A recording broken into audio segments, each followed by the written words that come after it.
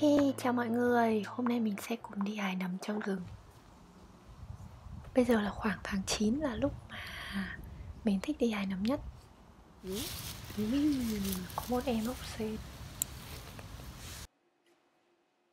Cũng có nhiều loại nấm ăn được ấy Nhưng mà không phải loại mình thích hái nên mình cũng không hái. Tiếp tục đi thôi nào.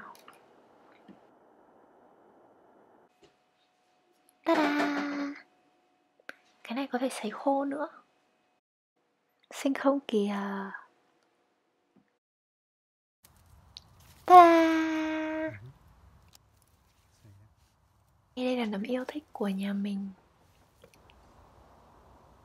Cục này nhìn hay nhưng mình cũng không hái. Đi tiếp thôi.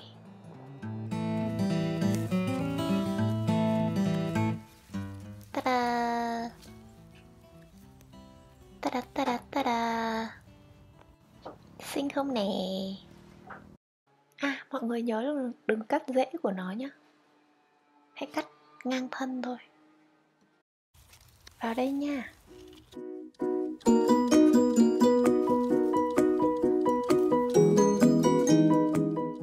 Berry không nè? Ừ ừ. Ừ ừ. Cục cục cục